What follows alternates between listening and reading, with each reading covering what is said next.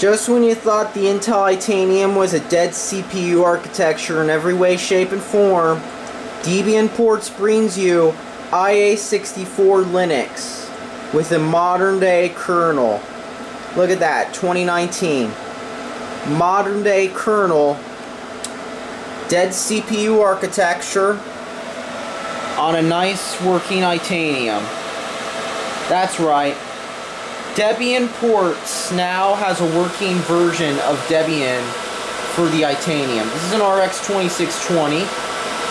Little common Itanium server, at least in the 2U form factor that wasn't like some huge, huge, like 4 CPU, 8 CPU type of deal that would probably kill your power bill and need 3-phase power to run. This is a bit smaller than that, but I've got 12 gigs of RAM in here and it's working just fine. Look.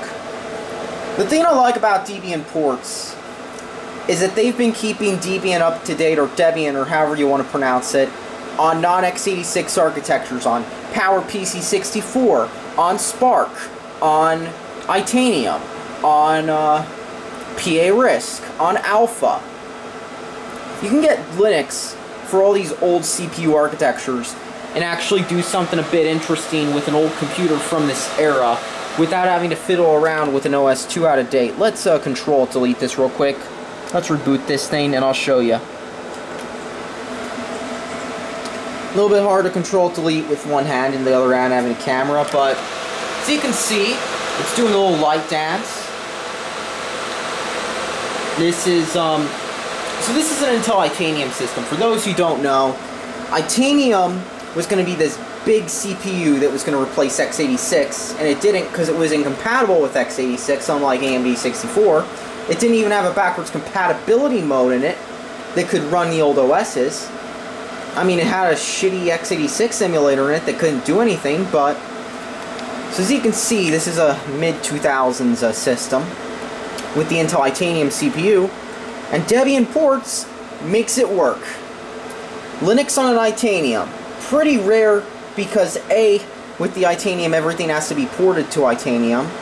And B, the big thing is, and I'll show you in a second, the big one is a lot of people who got these systems did not install Linux or Windows. Well, Windows was garbage, but um, they installed HPUX, they installed OpenVMS. These aren't installed anymore, by the way, because it's going to say not found. These are dead EFI entries I gotta clear out kind of like modern EFI systems or UEFI systems. So this is EFI, it's a predecessor to UEFI.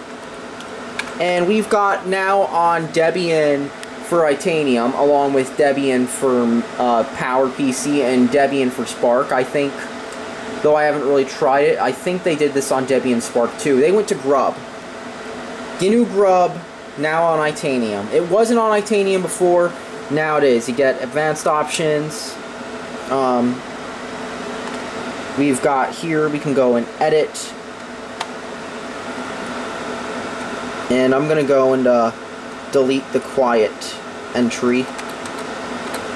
Smash F10. Loading Kinley.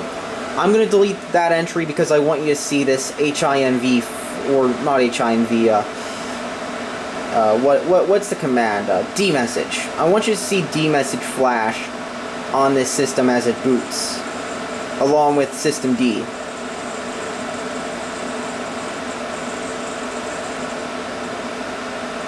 Black screen for the mode to set. Now there's actually a bug here with mode setting if you don't install the firmware. But with Debian, if you install the firmware, like, mode setting will work, but if you don't, it'll freeze. So you have to, um, you have to basically, I'm going to log in real quick. So what you have to do with these systems is you have to, you have to basically, while it mode sets, you have to, you have to install the firmware after you disable mode setting, and then you have to uh, reboot. And you have to grab the deb files to do it. I mean, it's sort of a compromise between it's a compromise that pleases nobody. For, I mean, it was sort of for like the FSF, and and because they're against firmware blobs. But the thing is, A, it can be a thorn in the side for normal users, and B, it's still not on the FSF approved list.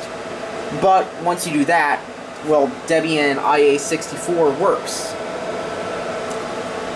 So this is Debian IA64, and as you can see, I've got 12 gigs of RAM, two CPUs. This isn't a dual core model. It works great.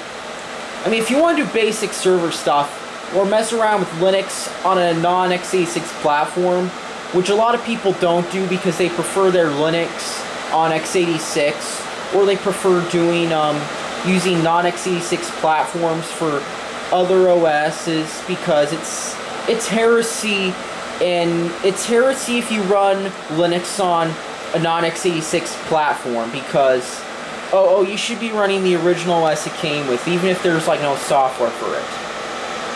But running Linux is something I like to do for fun on non-x86 platforms and I know there are some hobbyists who feel the same considering how Debian Ports has stuff for it. But one big issue with old servers from this era is they use SCSI hard disks, which A are size limited for the most part, and B, basically this system only has three SCSI hard disk slots, unlike a lot of them because the power supplies for this are located in the front, and a wire runs to the back of the system. So the system only has three hard drives on top of being SCSI only. So you can't really use this system as a fancy file server too much.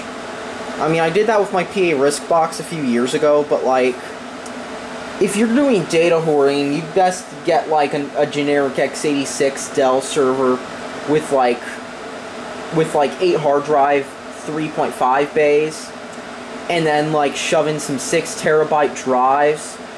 I mean, that that's some good stuff right there, especially for when huge image archives go offline just like that. I mean, everybody's like, everybody takes the internet for granted. People take streaming for granted. And just like that, that could go offline. Just like an image archive did the other day. So, this system isn't the best for file servers, but for other uses, you want to have fun with the non-x86 system, here you go. A lot of hobbyists don't do this because they'd rather run VMS on here, or maybe HPUX, but if you want to have some fun with Itanium and you want Linux, this will run great. It's better than running something like Windows Server, which is complete garbage on Itanium. But there you have it. Linux for IA64 in 2019. 2019 Linux. There you go. Debian ports is great, by the way, if you want to save some like weird Unix box or non-x86 box from the dumpster, or sitting on your shelf rotting, doing nothing because nothing runs on it. You want to save it from that fate? Pop Debian on it from the Debian Ports project. You'll have so much fun, guaranteed. All on an Itanium. Fun, ain't it? Because to me it's fun. I love being a nerd. It's, it's fun. Thanks for watching and subscribe for more.